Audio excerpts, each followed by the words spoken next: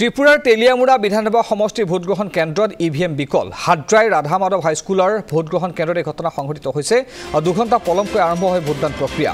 ধৰ্মনগৰ বিধানসভা সমষ্টিত ভোটাধিকাৰ সাব্যস্ত বিজেপি প্ৰাৰ্থী বিশ্ববন্ধু সেনৰ। যুৱৰাজনগৰ বিধানসভা সমষ্টিত অব্যাহত ভোটগ্ৰহণ প্ৰক্ৰিয়া।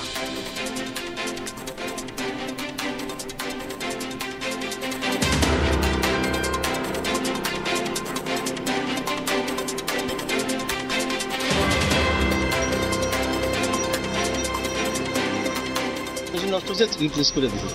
কত এটা? এটা ইয়ে, সতেরো। হ্যাঁ, সতেরো। আঠাশে সতেরো। আরেকটা মেশিন বললেন ঠিক আছে ঠিক আছে ঠিক আছে। চালু হয়েছে ভোট চালু হয়েছে এটা ভোট হইতেছে অলরেডি কয় কত- কয় ঘণ্টা পরে চালু হয়েছে? ভোট ওই হয়েছে? যে টাইম আছে এই ঘন্টায়। টাইম তো আর দেখছি না।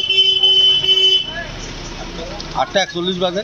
একটা তো চালু হয়ে গেছে। কোন সেন্টার স্যার দুষ্কি এলাকা শুনলাম একটা এই নষ্ট হয়েছে। বিবি বেড দুষ্কি এলাকা দুষ্কি পাড়াগুলোকে দুষ্কি আমাৰ না আমাৰ সাইড না